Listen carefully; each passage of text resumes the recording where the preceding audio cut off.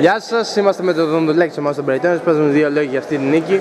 Μετά από πολύ καιρό, γιατί είχαμε πάρα πολλές απουσίες και πολλά άκυρα παιχνίδια, μπορέσαμε σήμερα και κερδίσαμε. Ευτυχώς ήρθαν κάποια παιδιά που είχαν έρθει από τις πρώτες αγωνιστικές. Ευτυχώς καλύψαν τα κενά. Ήρθαν προπονημένοι και πήραμε το ρόλο Έγινε, ευχαριστούμε πάρα πολύ. Καλή συνέχεια.